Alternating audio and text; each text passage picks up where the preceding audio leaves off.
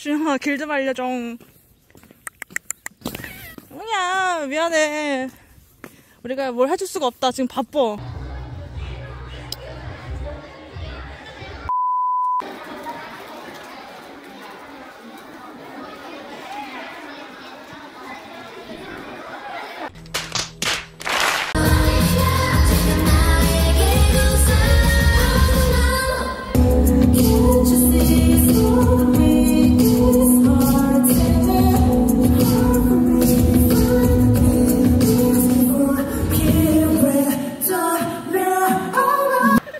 상당히 40대 아니야?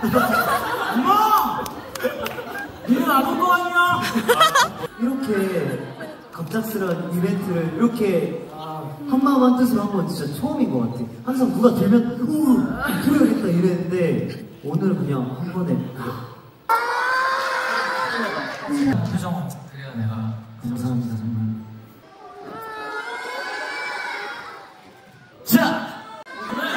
제가 분위기를 한번 반전시켜보죠 예, 가보시죠. 정말인가요? 네, 쟤는 코난 예. 범인이죠 드디어 콘서트 끝나고 밥을 먹으러 왔다 너무 힘들어